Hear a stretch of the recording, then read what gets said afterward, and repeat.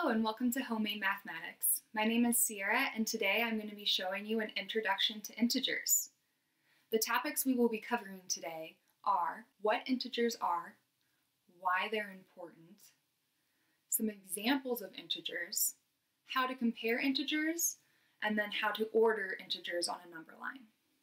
So if any of those things sound interesting to you, go ahead and keep watching. But before we can actually talk about integers, we need to talk about the other types of numbers that come before them. The first type of number you should have learned about is counting numbers, otherwise known as our natural numbers.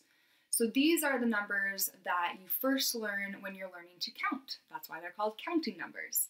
All right, so these numbers starting with one, two, three, four, five, and those are actually going to continue to go on in the positive direction forever. Past 100, past 1,000, past 1 million, all the way up to positive infinity. After counting numbers, we have our whole numbers. All right, so whole numbers are all of our counting numbers, 1, 2, 3, 4, 5, so on, plus one extra number. So the way I like to remember this, if you eat the whole pie, how much of it do you have left? Zero. All right, so our whole numbers are all of those positive counting numbers plus zero. Now we're ready for integers. Because integers, just like how whole numbers included all the counting numbers, integers is going to include all of our counting numbers, our whole numbers, and all of our opposite counting numbers. So what I mean by opposite, we have a positive one, we have a negative one. We have a positive 2. We have a negative 2. And so on.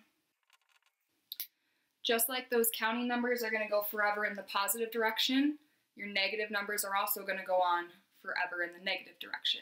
So notice I don't have any decimals or fractions or anything like that in there. So your integers are all of your positive and negative whole numbers. Now that we know what integers are, you might be asking, why do I really care? I think I'll just stick with my positive numbers. I'm good with my positive numbers. We don't need negatives. However, we use negative numbers, integers, very often in the real world. So I'm gonna have you go ahead and pause the video here and comment down below any real world examples you can think of that would involve integers, or positive and negative whole numbers. All right, hopefully you paused me and you commented down below now I'm going to share with you three examples that I thought of and that I see the most often. First example of where I see integers being used is temperature, especially if you live in the Midwest. All right, I lived most of my life in Iowa and we definitely got down here, even way down here. All right, so temperature is one place that you will use integers, right? We have positive temperatures and negative temperatures. The second place um, is through elevation. All right, so like I said, I was from Iowa, which is a, a lower elevation but above sea level. Um, and I now live in Colorado, which is a much higher elevation. Um, but there's actually places like around the coast in California or Florida that are below sea level. So they would have a negative elevation.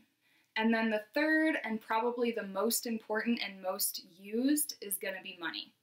For example, if you look at a bank account, let's say you make $500, so you deposit $500 in your account, that's going to be a positive 500. Where if you go and buy a video game and you spend $50, that's going to be a negative $50. So money and banking is definitely another place we use integers. Now that we know what they are and why they're important, let's take a look at how we can compare them.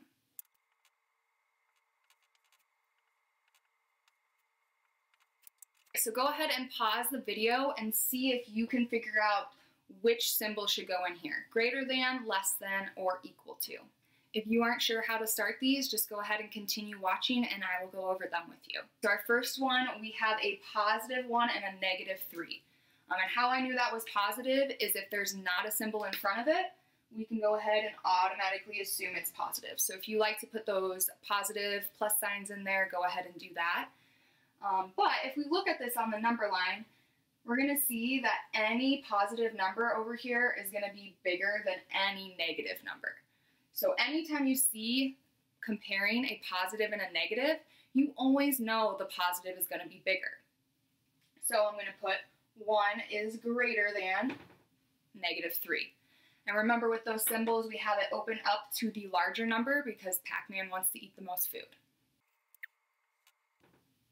I have kind of an evil Pac-Man. He's got some teeth in there. I don't know if you can see.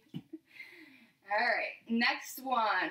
We are comparing two negative numbers this time. This is where it can get a little trickier, right? If you have a positive and a negative, you always know the positive is going to be bigger.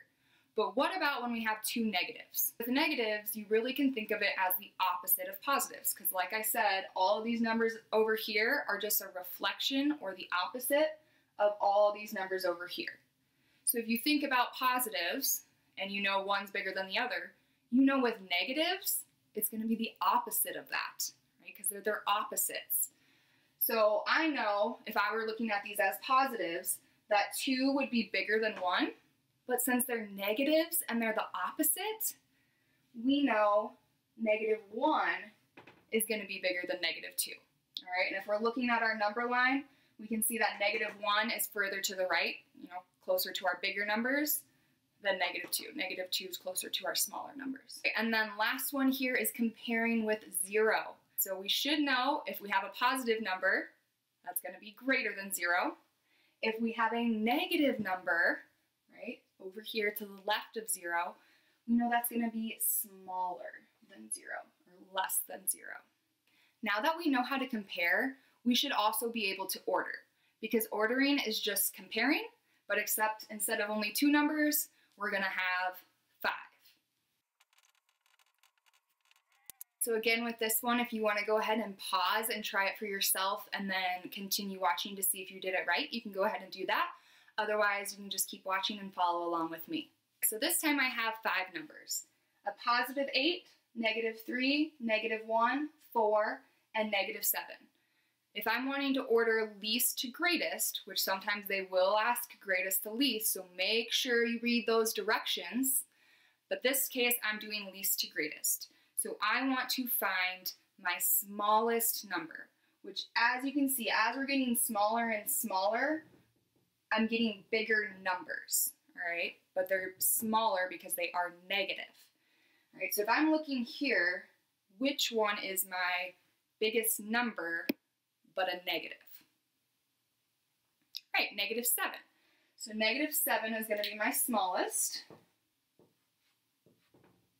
Right, and then if I'm looking at my last two negatives that are left here, which one of those is my smaller negative or my bigger number?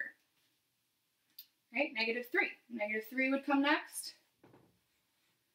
And then I have one negative number left. I'll go ahead and cross these out. I have one negative number left and two positives, and like we said earlier, our negative is always going to be smaller than any positive. So of course we have our negative one coming next. And then we should have lots of practice ordering our positive numbers. Um, so then we would have 4 and 8. All right, and now we have those ordered from least to greatest. If you would like a fun way to practice comparing integers rather than just doing a worksheet or flashcards or something like that, I have created a game based off of um, the card game War. I'll put a little card somewhere up here um, that you can go ahead and click on to see how you play that game and how you can practice your comparing um, with a fun game.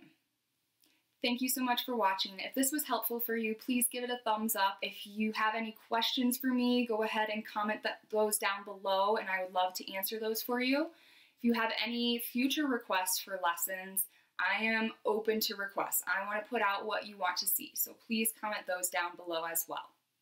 Also, I'm going to be trying to get more videos out there, so more than just the one a week on Monday. So go ahead and subscribe so you don't miss my next video. Thank you, and we'll see you next time.